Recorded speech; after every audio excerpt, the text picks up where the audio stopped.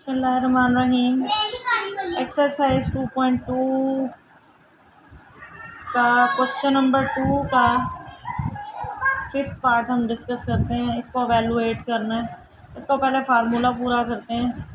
इसके लिए हमें टू ऐड यहाँ पे मल्टीप्लाई भी करना पड़ेगा और डिवाइड भी करना पड़ेगा। क्योंकि क्यूब रूट ऑफ़ यूनिटी जो है वो उनका फार्मूला इसके साथ के बगैर नहीं पूरा होगा टू के बगैर। तो टू को ऊपर मल्टीप्लाई भी कर दिया डिवाइड भी कर दिया इक्वेशन में कोई फ़र्क नहीं पड़ा। ये बन गया जी टू ओमेगा और ये ऊपर सिक्स आ गया, ये बन गया जी टू ओमेगा का स्केयर और बाहर सिक्स आ गया। इसको मल्टीप्लाई कर देंगे टू की सिक्स हो गया।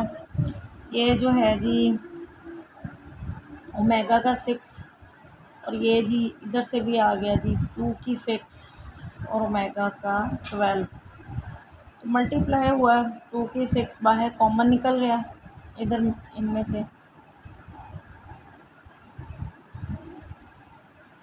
टू की सिक्स हम बाहर निकाल लेते हैं तो अंदर बन गया सिक्स इंटू ट्वेल्व अब ये हमें पता है क्यूब थ्री बराबर होता है वन के तो इसको सेटिंग कर लेते हैं टू की सिक्स ये बन गया थ्री की टू और ये बन गया ओमेगा थ्री की फोर अब वैल्यूज़ पुट कर दें।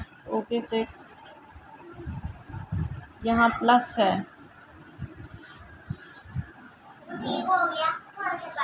ये प्लस अब जी आ गया।